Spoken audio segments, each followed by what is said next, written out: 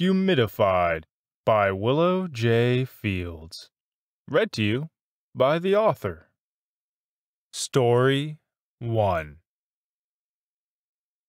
I, I don't know. Should I get a humidifier? I wondered aloud.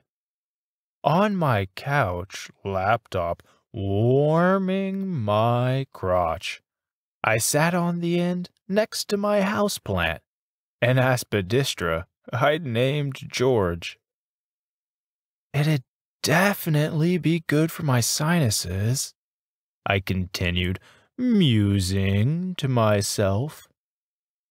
I regarded the shopping cart screen.